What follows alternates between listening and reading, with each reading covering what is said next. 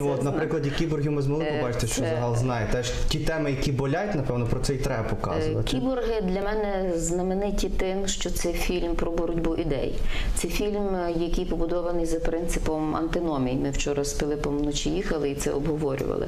Антиномія це той прийом, який застосувала велика Леся Українка у своїй драматургії, де коли кожна із висловлених думок має свою дуже широку аргументаційну базу. І Леся Українка закидує у нас у площину філософування і в площину думання. От Пилип слушно сказав, що кіно це те, що між очима людськими і екраном, себто оцей простір. І це дуже класно, що фільми, які робить зараз Держкіно, е, е, цей простір е, наповнює мисленням. І під впливом тих фільмів може формуватися інша модель української свідомості, яку, врешті-решт, можна буде назвати національною свідомістю. Бо саме національна свідомість суспільства буде диктувати кінематографу потребу того чи іншого фільму. Тобто класний фільм не може виникнути ні звідки, бо ті люди, які пишуть фільм, і ті люди, які знімають фільм, вони є також продуктом суспільства. Вони також є носіями відповідного світогляду. Головний режисер того фільму, правда, Пилипе, вивчив українську мову після війни, здається. За останні роки, причому тепер він володіє блискуче не просто. Так, а в нас знаходиться частина суспільства, яка вважає, що вона має право не знати державної мови. Тобто е, продукт е, кіна, продукт е, книжковий і інший продукт, він насправді є результатом мислення суспільства. До чого я проваджу? Що це ефект сполучних посудин. Одне залежить від іншого і інше від попереднього. У цій ситуації, яка сьогодні склалася в, кіні, тут Пилип спеціаліст, я просто споглядач.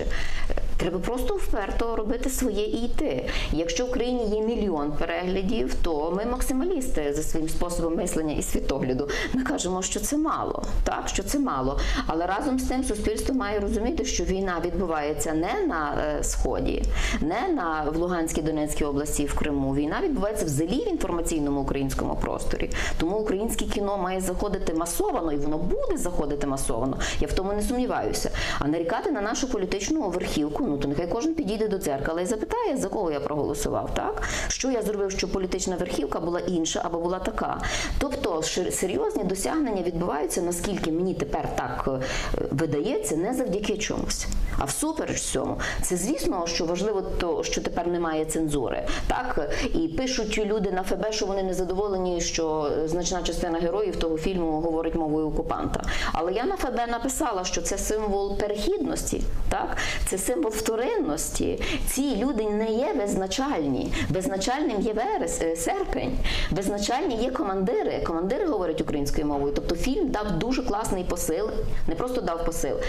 Фільм відобразив тенденцію перемоги української мови над російською мовою, а отже, перемоги українського світу над московським світом, тому що мова це не є засіб комунікації, мова це питання влади. І тому у фільмі звучать знакові базові слова серпня, в якого закохалися всі без винятку. Я перша. Просто це щось неймовірно. Тобто і серпень каже про це, що мова це зброя, і каже тому ліберастою, чу ж ви? Ви кажете, що ми нафталінні, та націоналісти. Чу ж ви витягнули мову? Ти ж не говорив українською мовою.